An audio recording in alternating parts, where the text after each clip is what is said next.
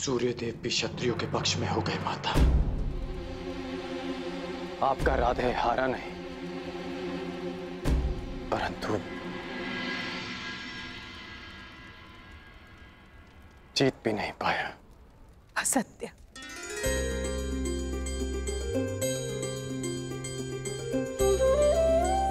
अपनी माता से असत्य कह रहे हो? एक आज तुमने तीन तीन विजय प्राप्त किए हैं, कल। पहली विजय। उसी क्षण प्राप्त हुई जब सूत पुत्र होकर तुमने रणभूमि में राजकुमारों को ललकारा। दूसरी, जब महाराजा ने तुम्हें राजा की पदवी दी, आज तक एक सूत के रक्त को हे दृष्टि से देखा जाता था। किंतु आज आज एक सूत के मस्तक पर, एक क्षत्रिय के रक्त का राज तिलक लगा है। ये तुम्हारी तीसरी विजय है कल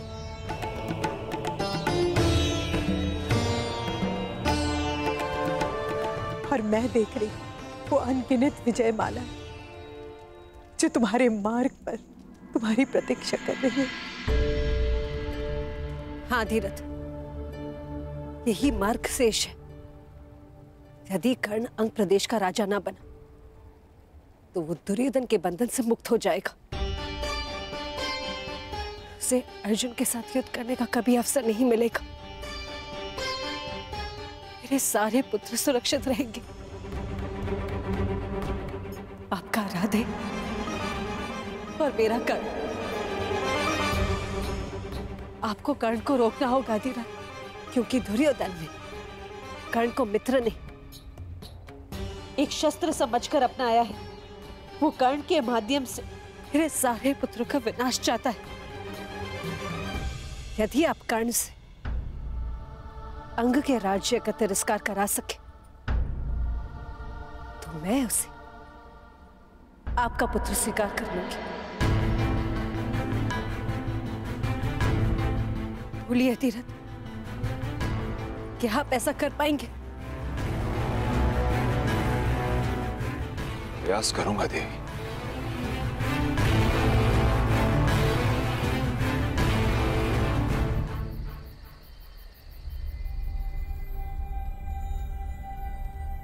ये क्या कह रहे हैं आप?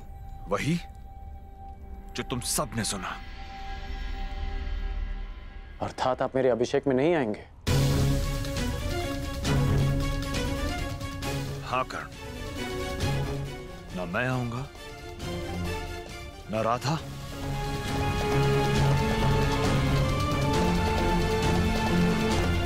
न ताऊ यदि तुम्हारे अंदर पिता के लिए आदर है तो तुम भी वहाँ नहीं जाओगे। बुद्धि भ्रष्ट हो गई है तुम्हारी अधिरात जिसका राज्य अभिषेक होने वाला है, उसी से तुम कह रहे हो कि अपने अभिषेक में उपस्थित न हो। हाँ? हाँ। क्योंकि यही उचित होगा, भ्राताश्री। देखने वाले को कमल पुष्प सदा पानी के ऊपर दिखता है। परंतु गहराई में जाकर देखे तो सत्य का पता चलता है कि उसकी नाल कीचड़ से बंधी है। जो मुकुट कल कर्ण को पहनाया जाएगा, उसके साथ एक अदृश्य बेड़ी है, जो तुम्हें कुमार दुर्योधन के साथ सदा के लिए बाँध देगा। तुम्हारी दृष्टि में केवल सर्वश्रेष्ठ बनने का स्वप्न है ना कर्ण? इसीलिए देख नहीं पा रहे हो कि कुमार दुर्योधन तुम्हें अपना मित्र नहीं, अपना दास बना रहे तुम्हें अपने गले का हार नहीं माना। वो तुम्हें अपना शस्त्र बनाकर अर्जुन की गांठ करना चाहते हैं। तुम शिक्षा के लिए घर छोड़ के जब गए थे, तुम्हारा एक ही स्वप्न था, एक ही लक्ष्य था। संसार का सर्वश्रेष्ठ धनुधर बनने का। भूल गए वो स्वप्न। स्मरण है पिताजी और यह भी स्मरण है कि इस सर्वश्रेष्ठ धनुर्धर के बाणों का लक्ष्य क्या था? लक्ष्य था परंपराओं और वर्ण का वो बंधन तोड़ना, जिन्होंने हम सूतों का बाँध रखा।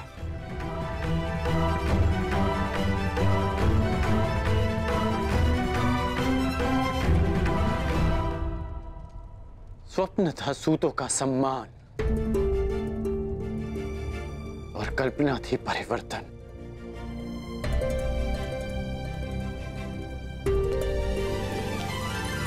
हो सकता है कि कुमार दुर्योधन की मित्रता के पीछे एक प्रयोजन हो। हो सकता है कि वो मुझे एक शस्त्र समझकर प्रयोग करे। परंतु जो परिवर्तन मेरा लक्ष्य है उसकी झलक कल मैंने। कुमार दुर्योधन के व्यवहार में देखी। पांडवों के नहीं। पहली बार एक सूत को एक राजकुमार से द्वंद का अधिकार मिला। पहली बार एक सूत को सूत पुत्र नहीं, अंगराजकरण कहकर पुकारा गया।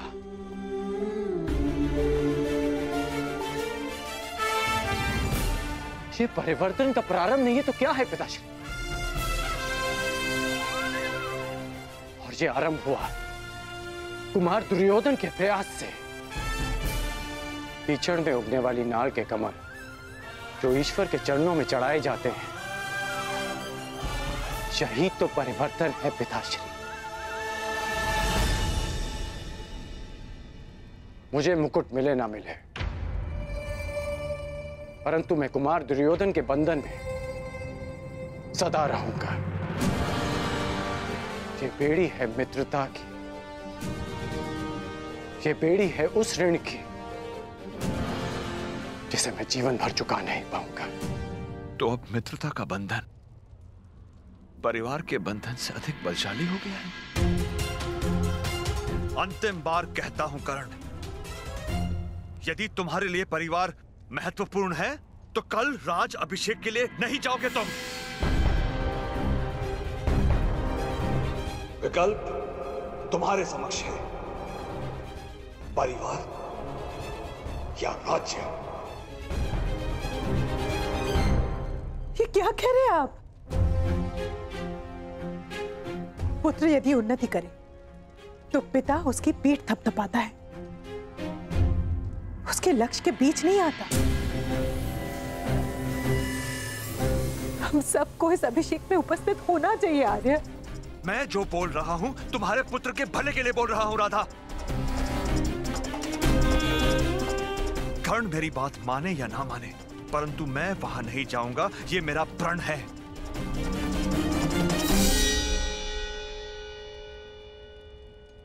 और तुम वहाँ नहीं जाओगी, ये मेरा आदेश है।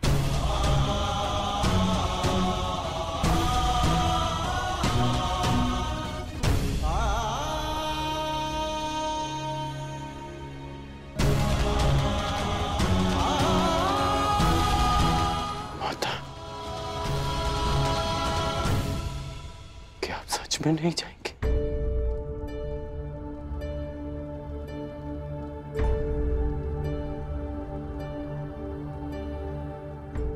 राधा ने अपना विकल्प चुन लिया है, कर्ण।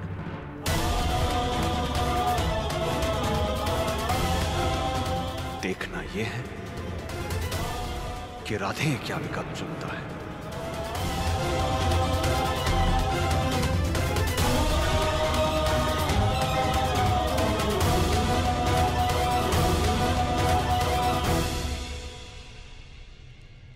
अपनी माता के चरणों में रहने के लिए। ये राधे देश तो क्या? संसार के समस्त राज्यों का बलिदान कर सकता है। परंतु उसी माता को मैंने न्याय और परिवर्तन लाने का वचन दिया है।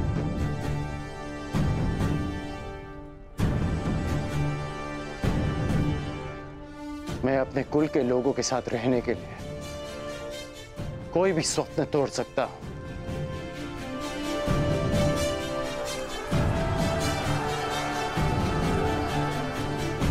पर उन्हीं की आँखों से वो स्वप्न नहीं छीन सकता, जो मैंने ही उन्हें दिखाए।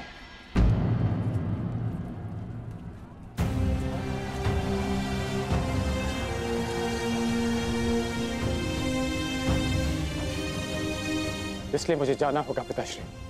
कुमार दुर्योधन ने वचन दिया है कि उनके सम्राट बनते ही जाति और कुल का भेदभाव समाप्त हो जाएगा।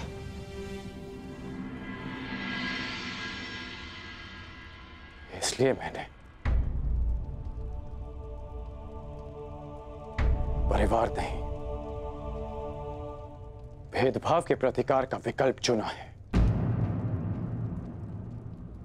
मैं जानता हूँ कि आप मुझे आशीर्वाद नहीं देंगे।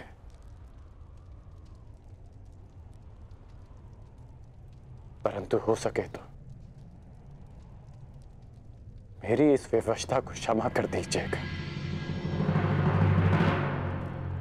शक्तिशाली है, सब पे भारी है, ऐसा समय प्रबल। समय ही देता, समय ही देता, बदले ये पल पल।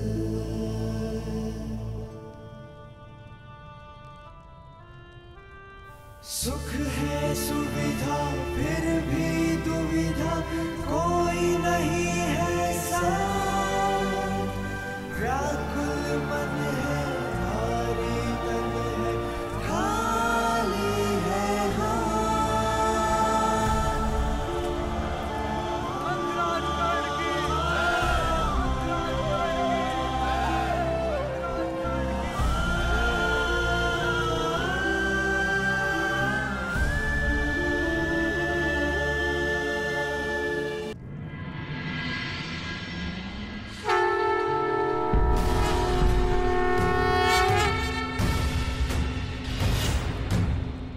राज्य अभिषेक की विधि प्रारंभ हो।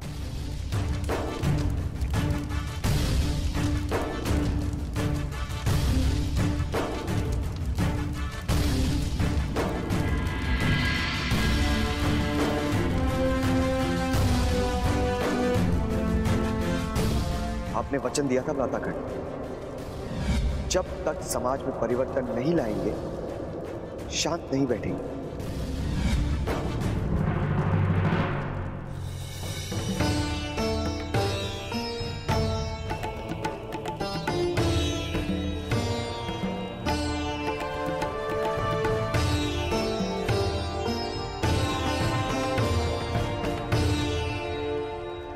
आप अपने प्रयास में सफल ना हो सके, अधीरथ।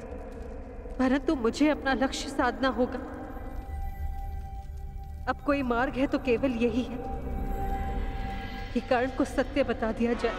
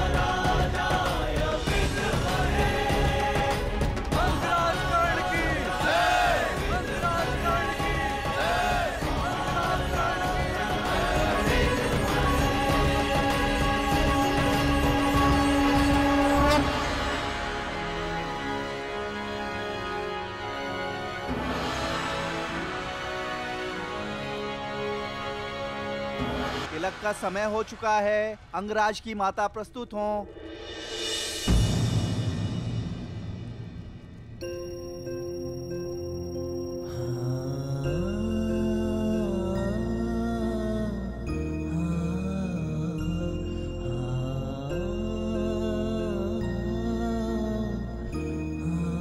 किसी कारणवश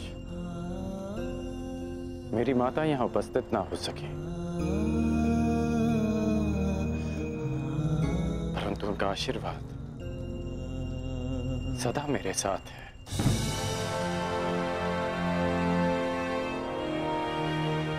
कर्ण, मैंने तुम्हें अपना मित्र माना है, और इसलिए मेरी माता भी तुम्हारी ही माता हुई।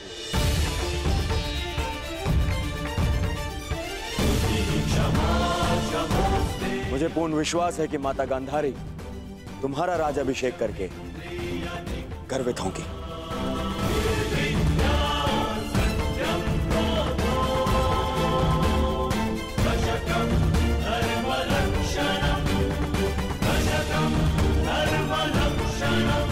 महाराज।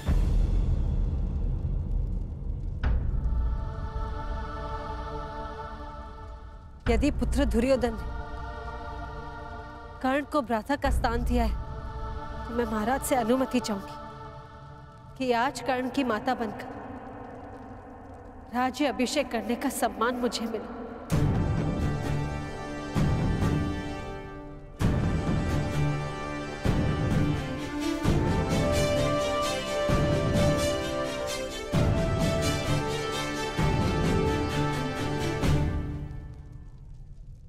मैं कर्ण को बालपन से जानती हूँ। उसने भी सदा मुझे मातृव्रत स्नेह दिया है। मुझे कर्ण और अर्जुन के कौशल में कोई अंतर नहीं दिखता। क्या महाराज की अनुमति है?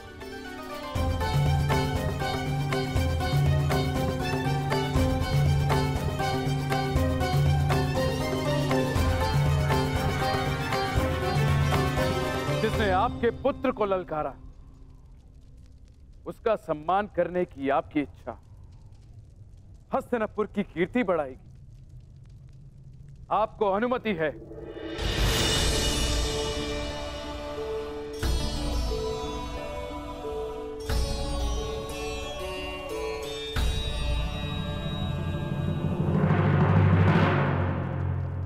माता श्री ने ऐसा क्यों किया?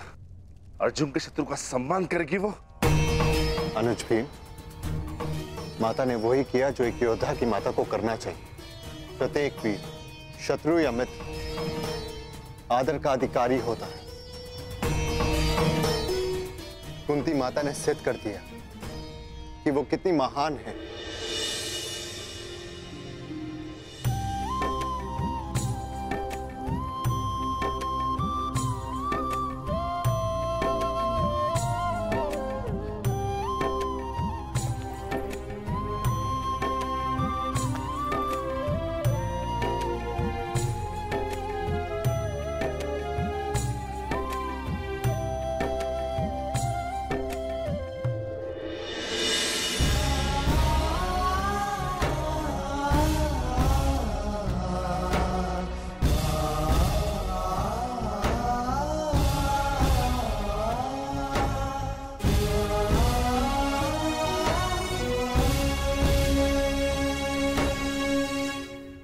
महामहिम अब अंगराज के शीश पर राजमुकुट शोभित करें।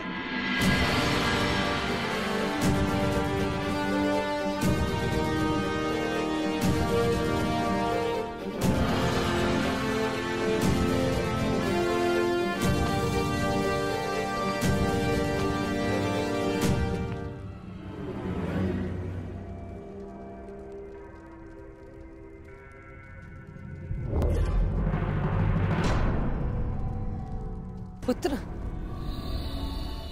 राज्य अभिषेक में माता को शगुन मिलता है। तो के पुत्र, मेरी इच्छा थी कि राजपुत्रों के मध्य बैठने की इच्छा पूर्ण हो गई, कर्ण।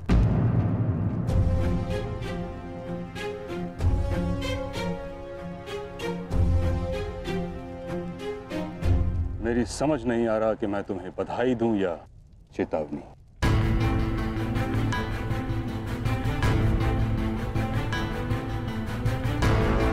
पारस मिलना भिन्न बात है। उससे लोह को स्वर्ण बना देना भिन्न है। राजमुकुट में स्वर्ण होता है, परंतु उसमें कुछ अदृश्य शूल होते हैं, जो निद्रा असंतोष छीन लेते हैं।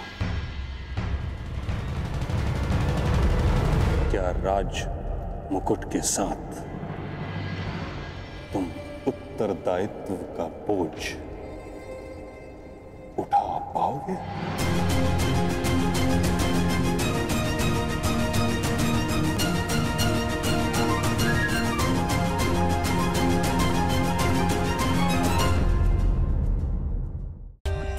For more updates, subscribe to our channel, click the show links and enjoy watching the videos.